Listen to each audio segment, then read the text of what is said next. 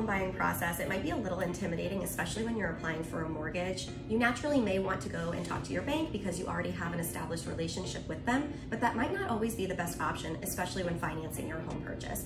There's really three things that you should be looking for when you're applying for a mortgage and speaking with a lender, and it might be in your best interest as well to shop lenders and talk to a few to compare those rate and quotes.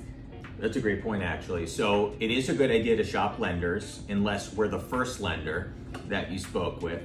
But in all seriousness, you actually have a window of time in which you can have your credit pulled by more than one lender and it doesn't impact the scores negatively because that's a big thing that deters people from looking at different options is, oh, I already had my credit pulled. I really don't want to have another pull because that inquiry is going to hurt my score. A period of time in which you can shop lenders where the score will not be impacted. And typically it's 45 days. Two, as Sam said, when you're comparing lenders, there's really three things you're going to want to look at from one lender to the next.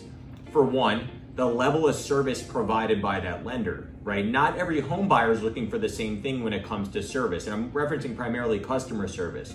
Are you someone who needs a lender to be available outside of nine to five business hours? Well, a bank might not be the best option in that case because most banks close at 5 p.m. and aren't available to you on the weekend, right? Banking hours. A lender like us or other lenders similar to us might be available to you around the clock. We're available all the time. If we're awake, we reply. That's important to a lot of people, but not all. Of course, as Sam said, the interest rate is something that you're gonna wanna compare, right? What's the interest rate being offered by that lender?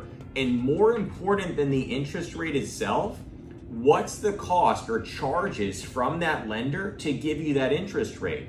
Because a rate might be low, but the charges might be high, and vice versa. So you want to look at charges, interest rate, and level of service when comparing lenders, and don't get caught up with things such as third party charges, because at the end of the day, the third party costs are going to be the same with every single banker lender, regardless of who you choose to work with.